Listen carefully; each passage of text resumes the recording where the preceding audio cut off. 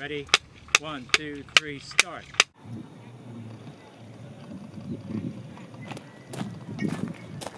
Hello, I'm Bruce Yeany. Today in my science class, we're going to try and measure the speed of sound. After coming up with a basic procedure, we decided to do it as a class project rather than individually. Now, what we're going to do is we're going to make a noise, which is going to travel from me to the building and back, and essentially what we're measuring is the echo. Now, for our calculations, we're going to start with the equation that says speed is equal to distance divided by the time. Now, our distance is from here to the building. Wait, should I videotape it?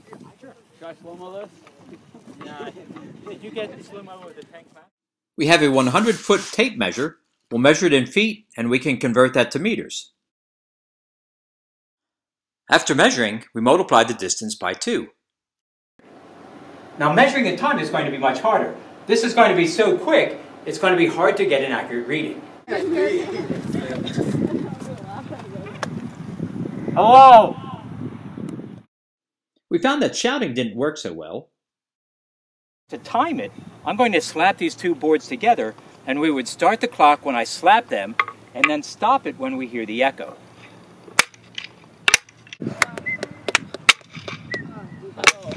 I, I'm not that The problem is it's just too quick. So rather than just trying to time one, what I want to try and do is get a rhythm going, and then we'd time a series of 10 clicks rather than just one.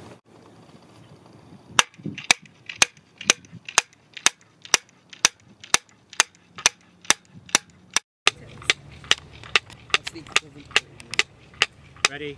One, two, five, six, seven, eight, nine, stop. In each trial, we would have 10 people timing and then use the average number. We'll take a look at results from three different classes. Now, another method for finding the time is to record it. And if you play it back four times slower or 10 times slower, it's much easier to time for a slower speed.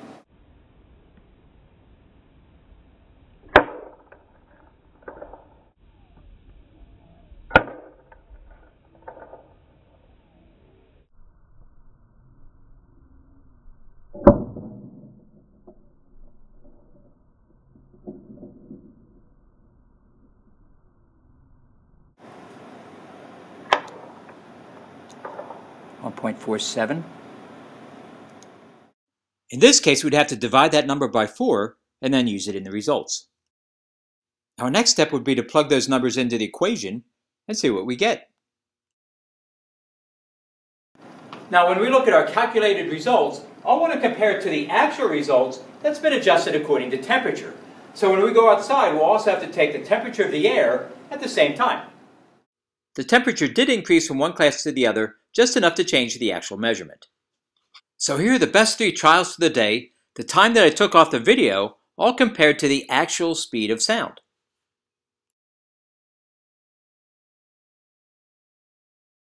Now, looking at our results, I think they're fairly reasonable considering the equipment we used. Wooden blocks, stopwatch, and a calculator.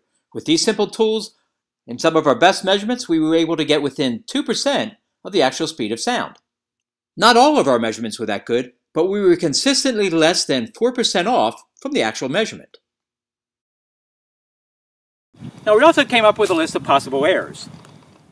Human error in using the stopwatch. All these people were timing the same event, but we have all these different numbers.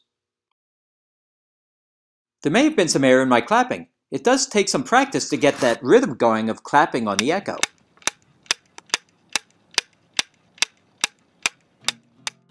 We had no way of knowing whether the air temperature stayed consistent across the whole distance. A change of a few degrees would make a difference. And finally, our distance may have been off. We were standing on a hill, and that's a little bit harder than measuring on level ground. But even with these possible errors, after making a few changes, I think we were all pleased with the results that we found. Alright, here we go again. As always, I'd like to thank you for stopping in and come back and see me again. Okay, bye.